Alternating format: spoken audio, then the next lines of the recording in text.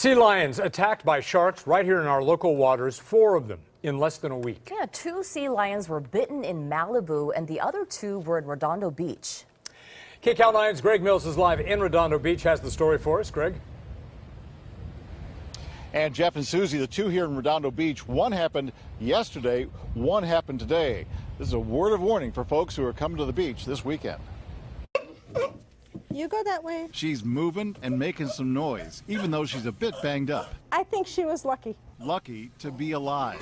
This California sea lion survived a shark attack a month ago, washed ashore in Redondo Beach, and treated by Dr. Palmer here at the nonprofit We do rely on donations. Marine Mammal Care Center, Los Angeles.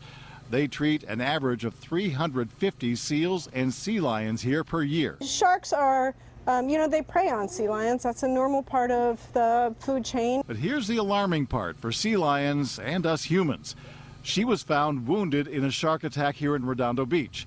This week, two more sea lions attacked by sharks were found at Kings Harbor, also in Redondo Beach. Oh my god, we were just talking about this. About sharks? Yes.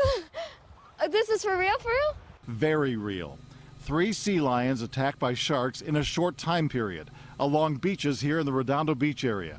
With the sizzling summer weather this weekend, Jocelyn Hoon and her friend already have Redondo Beach plans, as do these visitors from Las Vegas. Is there sharks on the beach? That- maybe. maybe. There's a theory. Well, Susan and Jeff got to tell you that uh, the sea lion that was being treated by Dr. Palmer, Dr. Palmer says that sea lion will be back in the ocean by uh, by the end of this month, before August. Reporting live from Redondo Beach, Greg Mills, KCAL 9 News.